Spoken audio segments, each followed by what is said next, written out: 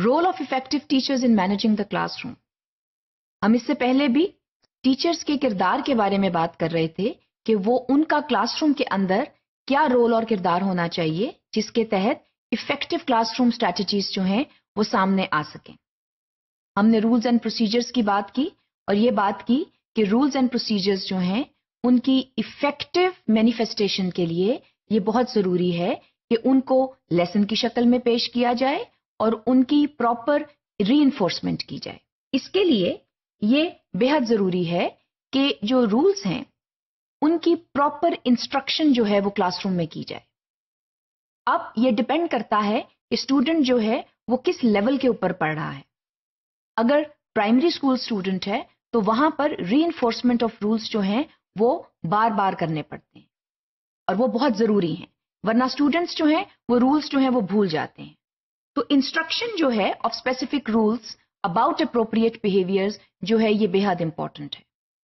इसको आप अपने इंस्ट्रक्शन का हिस्सा बनाइए और एक वीक के अंदर आपको ये मालूम होना चाहिए कि आपने इन रूल्स को अपने लेसन का हिस्सा किस स्टेज के ऊपर बनाना है। तो जब आप वीकली प्लानिंग करते हैं, जब आप अपने लेसन प्लान बनाते हैं और आपको अपनी लेसन प्लान की ड्यूरेशन का पता होता है तो इस चीज़ का ख्याल रखें कि आपने वीक में तीन या चार मरतबा ऐसे कौन से रूल्स हैं जिनकी री अपने लेसन प्लान के अंदर करनी है? इसके बहुत से तरीके हो सकते हैं।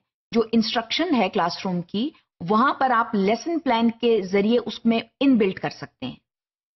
मिसाल के तौर पर, आपका लेसन प्लान ही ऐसे मौजू के ऊपर है जिसमें रूल्स आ जाते हैं। तो वहाँ पर ये बेहतर तरीके के साथ इंटेग्रेट हो सकते हैं।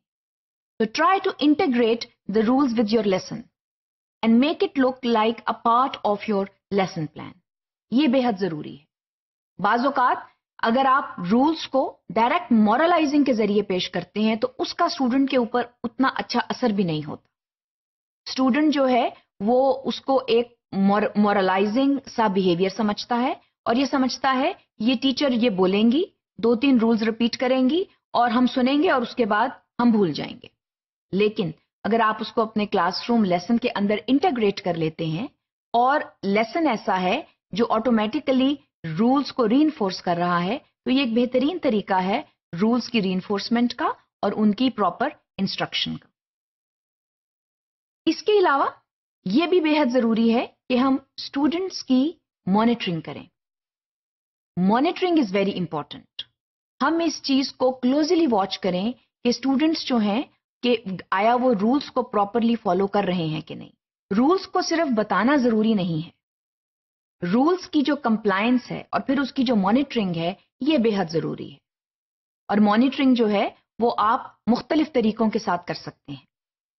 मिसाल के तौर पर, अगर स्टूडेंट्स कोई रिटर्न काम कर रहे हैं और उसमें उनको डिस्टर्ब नहीं करना अपने साथी को तो आप ये उनके करीब जाकर देख सकते हैं उनकी प्रॉपर मॉनिटरिंग कर सकते हैं that they are not disturbing their fellow colleague और their peer that is very important so monitoring is a very important part of effective teaching इसके अलावा ऑर्गेनाइजेशन ऑफ़ क्लास टाइम बेहद ज़रूरी है। How have you organise your class time in a way that proper time is devoted to instruction बाज ये होता है कि क्लासरूम टाइम जो है, वो सही तरह से टीचर मैनेज नहीं कर पाती, जिसकी वजह से प्रॉब्लम बिहेवियर स्टार्ट हो जाते हैं। So please give due time to the organisation of class time कौन सा वक्त किस चीज़ के लिए दरकार है? अगर आप लेसन का आगाज़ करते हैं तो आप मोटिवेशन के लिए कितना टाइम देंगे? और बाकी जो आपकी स्टेजेस हैं लेसन प्लान की, वो कितना टाइम देंगे? और उसके बाद रीकैप के लिए भी कितना टाइम देंगे?